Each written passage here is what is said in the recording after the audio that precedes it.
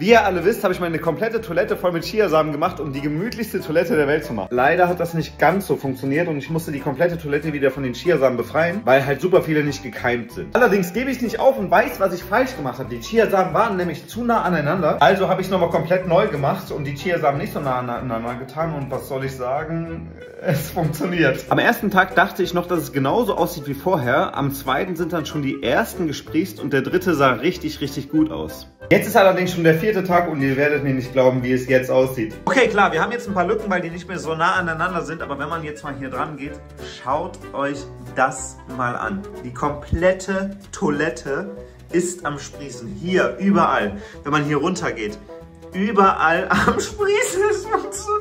Und wir sind jetzt gerade mal an Tag 4. Also wie wird es morgen aussehen? Momentan explodiert es einfach komplett. Ich werde euch auf jeden Fall up to date halten, deswegen folgt jetzt rein, um das nicht zu verpassen und schickt es meiner Person.